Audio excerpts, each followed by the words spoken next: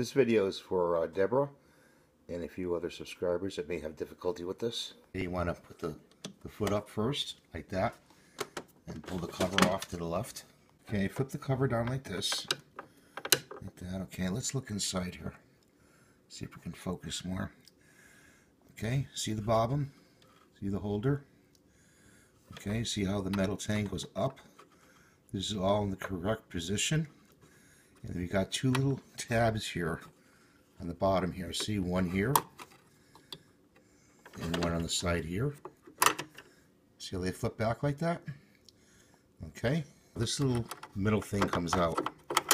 See how the orientation, the two things right here and here? Pull that out. Set it down in the right orientation on the table to the left of you. See the bobbin? Okay, just pull that out like this by the tang. Okay, comes out like this. Okay. So then this flips up like this. Okay. To pull the bobbin off like that. See? The other rocker armors like that. Move it down like this.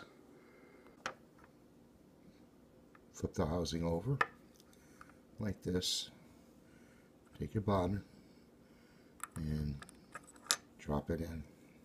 The other thread is you got to work it up to the slot and pull it through the slot and then through the hole. See like that? Okay, you see how it's wedged between that plate? You got to pull it all the way to where that opening is right there. Like that. See, like that? Okay. That other piece works in here, fits in, fits on top of this, and the hook's right there. See it? Bobbin with this tang, metal tang, straight up, and I'm going to place it in. I'm going to do that and then show you afterwards how it looks like that, okay? You're going to have to pull this little uh, hinge up to have it snap on this roller right here.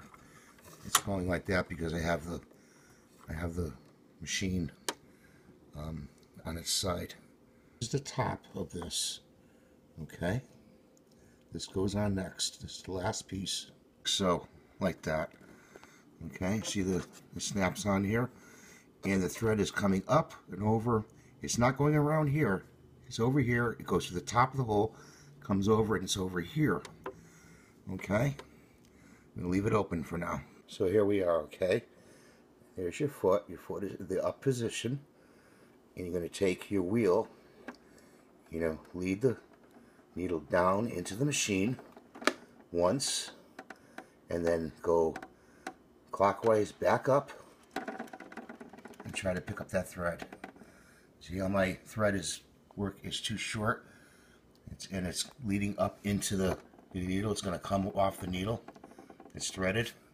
I'm going to have to pull that back. So on the second try, I did grab the blue thread, which is coming down from the needle, and it went into the machine, and I picked up the gold thread, which is right, right in there.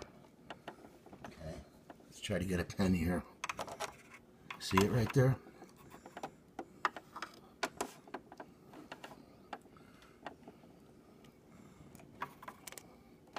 There we go, we got it. See it? Pulled it out. Okay, we're safe now.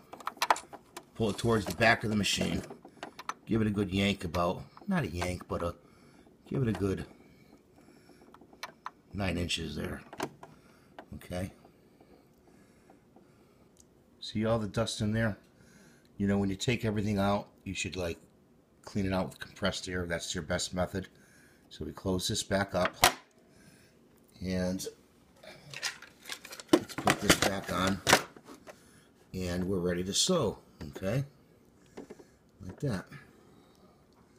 See? I'm sorry, I don't have my tripod here working with me. Okay? That's about the best I can do. I hope this helps you. And have a great time sewing. Uh, one quick addition to this, I'm sorry. See how these two are separated? One comes in from the bottom machine, one comes in from the top of the needle. Okay, like that. Make sure your settings on your machine for length and stitch are correct for what you want. And go slow and do some practice stitches. Thank you very much.